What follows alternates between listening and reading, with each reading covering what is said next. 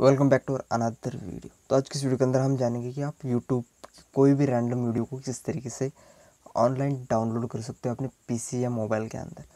तो जिन जिन स्टेप्स को मैं आपको बताऊँगा, उसे आपको सिंपली फॉलो करना है एज इट इज़ तो सबसे पहले आपको यूट्यूब को ओपन कर लेना है। उसके बाद कोई भी एक रैंडम वीडियो को सिलेक्ट कर लेना है। जब वो सिलेक्ट हो जाए तो आपको यहाँ पर शेयर का ऑप्शन शो हो जाएगा। तो सिंपली वहाँ पर क्लिक कर देना। और जो लिंक है, उसे कॉपी कर लेना है। कुछ इस तरीके से।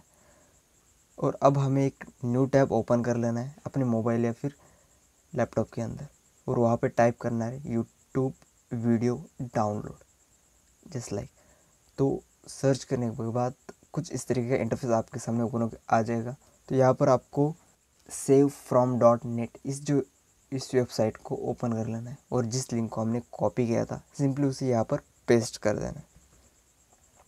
जब आप ऐसा कर दोगे तो अपने आप लोड हो जाएगा और आपकी वीडियो कुछ इस तरीके से आपके सामने आ जाएगा। तो यहाँ पर आपको अलग अलग तरीके से उसे डाउनलोड कर सकते हो। थ्री सिक्सटी पी में या फिर सेवन ट्वेंटी पी में भी आप उसे डाउनलोड कर सकते हो।